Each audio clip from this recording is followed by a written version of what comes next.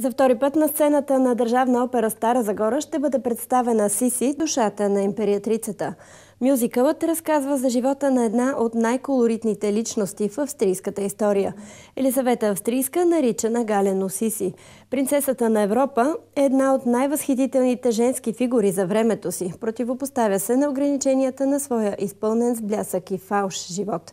Тя изпада в все по-дълбока криза и депресия и прави своя странен и крайен избор на империатрица Скитница за да се стигне до нейния злополучен трагичен край. Сиси е убита на брега на Женевското езеро. Към днешна дата австрийската империатрица продължава да бъде за много поколения символ легенда на свободолюбивата австрийска жена.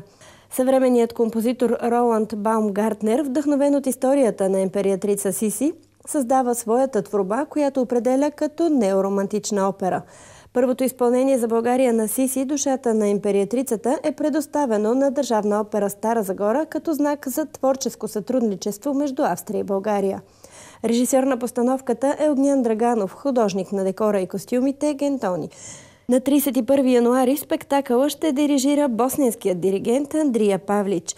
Творческият екип изцяло се придържа към класическото сценично решение с пишна сценография и костюми. Зрителите ще могат да се насладят на красивата и мелодична музика на Роланд Баумгартнер.